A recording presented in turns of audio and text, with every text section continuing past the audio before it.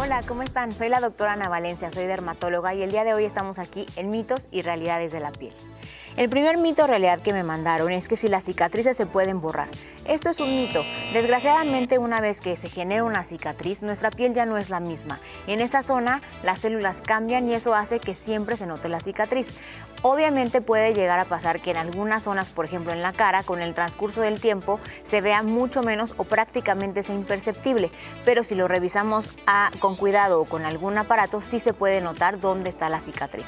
Entonces sí existen muchos aparatos sobre todo que nos ayudan a que mejore esto y que se vea lo menos posible para que estéticamente sea un resultado mejor. Sin embargo, siempre vamos a poder saber dónde está la cicatriz.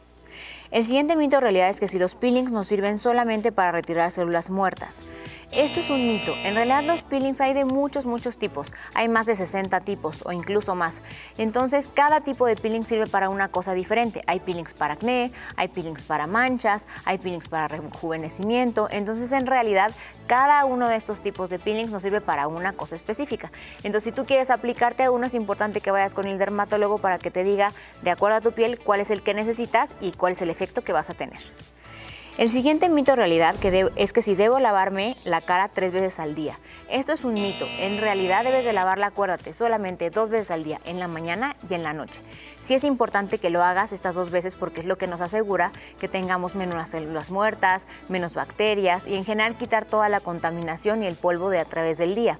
Sin embargo, es importante que si lo lavas tres veces al día, lo que sucede es que vas a hacer que esté más grasa tu piel y que entonces provoques acné.